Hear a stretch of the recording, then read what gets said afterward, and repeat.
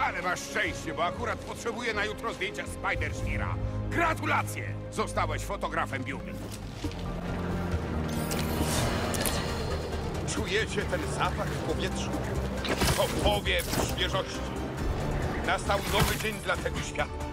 Stając oko w oko z apokalipsą, zaczynamy inaczej patrzeć na życie.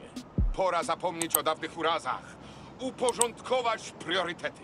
Kiedy inne kraje z zapartym tchem czekały, by zobaczyć, czy będą następne, Nowy Jork dzielnie prowadził walkę.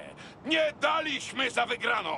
Kiedy już uczcimy odzyskanie wolności, o którą toczyliśmy tak zaciekłe boje, zwrócimy nasze oczy na tych, którzy są odpowiedzialni za narażanie nas na takie niebezpieczeństwo.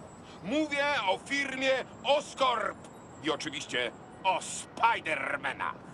Usłyszycie wiele sprzecznych informacji, kłamstw na temat wydarzeń ostatniego tygodnia, ale zapewniam was, tu wciąż czekają na was tylko fakty.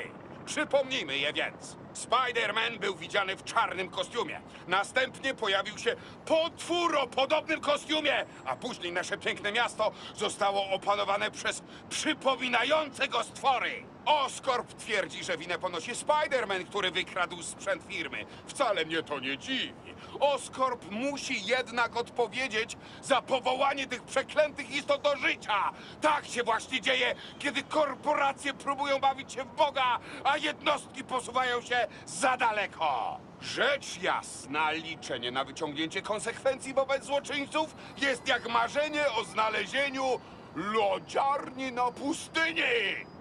Ale nie możemy zapomnieć, kto jest winny, ani mu wybaczyć. Na razie jednak cieszmy się życiem.